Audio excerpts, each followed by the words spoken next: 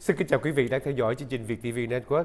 Sau đây là phần bình luận với tựa đề Sau bão lũ, Formosa hưởng lợi. Bài viết do blogger người buôn gió biên soạn qua chương trình bày. Thưa quý vị, trong cơn lũ lớn diễn ra ở miền Trung, số người chết liên tiếp tăng cao từ 5 người ban đầu đến mấy chục người vào hôm 2 hôm sau. Và những hình ảnh tang thương của người dân đã xuất hiện đầy rẫy trên trang mạng, khiến cho nhiều người đấu tranh dân chủ đưa ra những lời kêu gọi để vận động ủng hộ cứu trợ cho nhân dân miền Trung đang bị lũ lụt. Tuy vậy, mãi đến ngày 16 tháng 9 thì mới có công điện của Thủ tướng Cộng sản Việt Nam Nguyễn Xuân Phúc khi mà trận lũ đã diễn ra được mấy ngày và đã có thiệt hại lớn về người và của.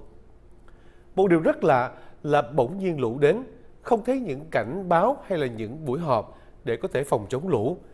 Khi mà các báo chí đưa tin rầm rộ là lúc lũ đang hoành hành.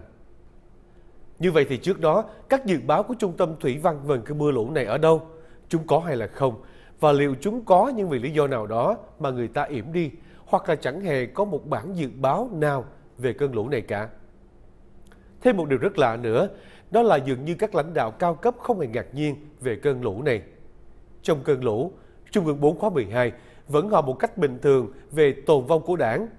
Sau cơn lũ thì các lãnh đạo như là Chủ tịch nước, Chủ tịch Quốc hội, Thủ tướng, Tổng bí thư điềm nhiên đi làm những việc của họ như là dự khai trương, kỷ niệm, lễ hội, nói chuyện cử tri về nghị quyết xây dựng đảng, vân vân. Tại sao một cơn lũ lớn và tác hại nghiêm trọng mà lãnh đạo cao cấp của Đảng Cộng sản Việt Nam không hề bị động? Trái lại, họ thản nhiên như vậy. Giả thuyết nào để có thể giải thích cho thái độ của họ? Hơn 20 người chết và con số chưa được thống kê kế tiếp. Đây không phải là chuyện nhỏ đến các lãnh đạo cao cấp của đảng không quan tâm. Chỉ có họ cố tình không quan tâm mà thôi. Dường như là những nhà lãnh đạo Cộng sản Việt Nam đều biết được cơn lũ sẽ xảy ra, cho nên thái độ của họ mới bình thản đón nhận với thái độ như vậy.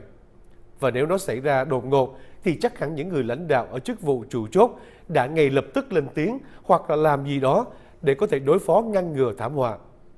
Chỉ một chiếc xe sang đeo bảng xanh hoặc là một vụ cưỡng chế quán cà phê, một bài báo viết trên mạng thì Tổng Bí thư, Thủ tướng, Chủ tịch Quốc hội, Chủ tịch nước đều biết ngay và có phản ứng ngay lập tức để có thể được thiên hạ tung hô là sát sao, là gần gũi, là quan tâm đến những việc nhỏ nhất trong dân.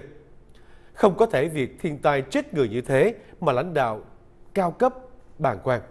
Các lãnh đạo học rất nhanh những hành động của các nguyên thủ các quốc gia mà dân khen ngợi như là đi ăn quán bình dân, tự tay móc túi trả tiền vân vân. Lẽ nào không học được cách mà các nguyên thủ ở các quốc gia khác bày tỏ với những thảm họa thiên tai? Dường như tất cả bọn họ đều biết sẽ có cơn lũ này và họ sắp xếp sẵn cho mình những chương trình làm việc khác để lấy cớ đang bận rộn với những chương trình sắp sẵn. Một giải thích rất yếu về sự không làm gì của họ với cơn lũ nhưng thà miễn cưỡng gượng gạo thế còn hơn là không có lý do gì cả. Lũ sẽ trồng lũ, thủy điện xả lũ, bão đến vân vân. Một lượng nước khổng lồ thi nhau đổ xuống miền Trung, tan hoang và thảm hại lan tràn là một điều tất sẽ đến. Lúc đó thì các nhà lãnh đạo sẽ vào cuộc chỉ đạo để giải quyết hậu quả cơn lũ. Cả xã hội quay cuồng theo những đau thương của thiên tai chút xuống và những bài báo nức nở nghẹn ngào, những chương trình cứu trợ mọc lên như nấm và tất cả những thứ đó tổng hợp lại sẽ thành một cơn lũ lớn cuốn trôi những gì mà Formosa gây ra. Có thể nói, việc kết luận lãnh đạo của Đảng Cộng sản Việt Nam biết trước và chủ động cho xả lũ là để lấp liếm đi sự kiện Formosa. Lời kết luận ấy là suy diễn. Tuy nhiên, việc các lãnh đạo Cộng sản bình thản như biết trước việc sau cơn bão lũ này thì chuyện Formosa đã bị nhạt nhòa đi là những dấu hiệu hiển nhiên có thật. Trước những dấu hiệu đó có thật liên quan đến chặt chẽ đến nhau, thì việc kết luận lãnh đạo Đảng Cộng sản Việt Nam đã có âm mưu liên quan thảm họa lũ lụt này không phải là suy diễn vô căn cứ. Vào ngày 17 tháng 10, gặp cử tri Hà Nội thì Tổng bí thư Nguyễn Phú Trọng không hề đả động chuyện lũ lụt đang xảy ra ở miền Trung. Đã thế, ông ta còn tranh thủ bào chữa cho Formosa với các cử tri. Theo kiểu ví dụ, ở Hà Nội, không có Formosa thì cá vẫn chết đó thôi và việc xả phế thải ở đâu cũng có, không cứ gì ngoài biển. Và cái cách lý luận của ông Trọng khiến cho người ta phải nghĩ chuyện ô nhiễm còn có thể ở nơi khác. Nguyên nhân khác chứ không hẳn là chỉ do Formosa. Lý lẽ ấy chủ ý muốn chỉ mũi dùi dư luận đang chú ý vào Formosa phải phân vân. Và đây là cách làm loãng dư luận mà ông Tổng bí thư Nguyễn Phú Trọng sử dụng để bao biện cho công ty Formosa.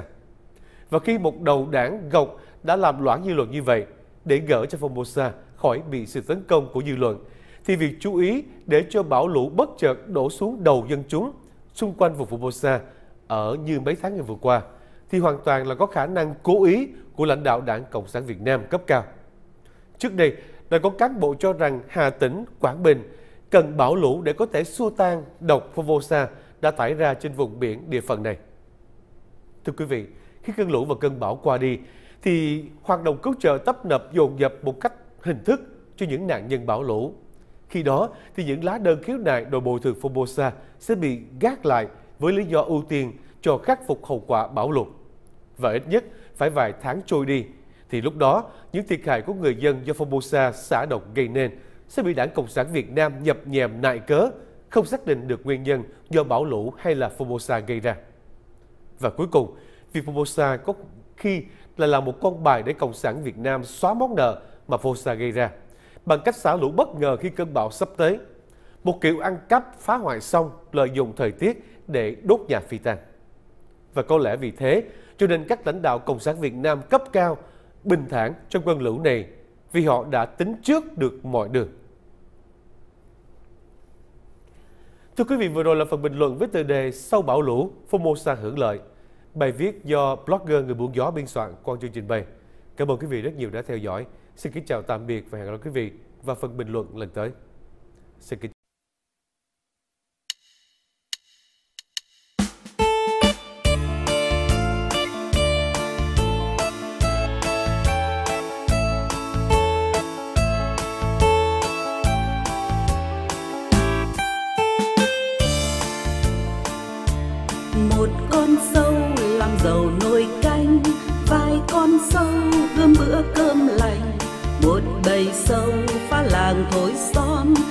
những bầy sâu. Ơi những bầy sâu đục ruộng cả quê hương. Những con sâu béo tròn béo trục ăn cầu đường sắt thép xi măng. Ăn cơ quan công quyền chức tước, ăn lớp trường. Ăn cả nhà thương. Một con sâu làm giàu nồi cơm con sâu gấm bữa cơm lành. Một bầy sâu phá làng thối xóm, những bầy sâu. Ơi, những bầy sâu, đục ruộng cả quê hương. Những con sâu béo tròn béo trùng, ăn ruộng vườn hút mau dân oan. Ăn non sông núi rừng đất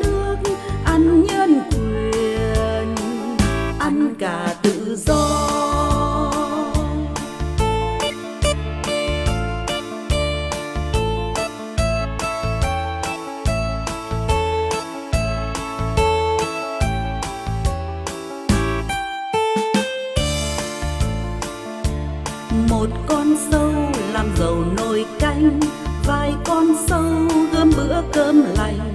Một bầy sâu phá làng thối xóm, những bầy sâu ơi, những bầy sâu đục ruộng cả quê hương. Những con sâu béo tròn béo trùng, ăn cầu đường sắt thép xi măng.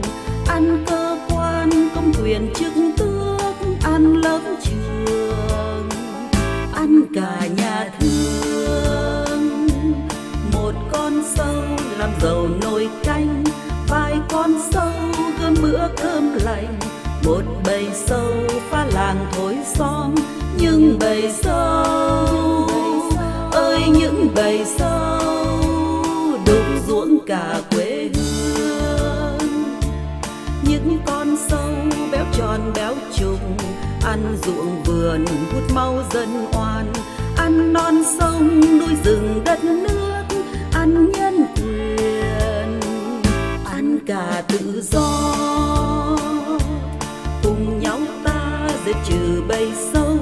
Để dân ta có bữa cơm lành, ruộng vườn ta đơm mầm kết trái lúa đồng xanh, ơi những màu xanh đẹp đất trời quê hương.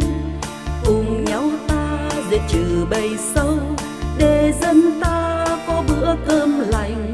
Ruộng vườn ta đơm mầm kết trái lúa đồng xanh.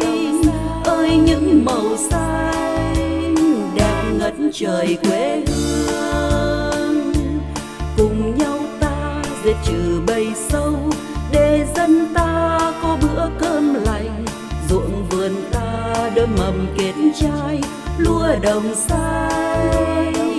Ơi, những màu xanh đẹp đất trời quê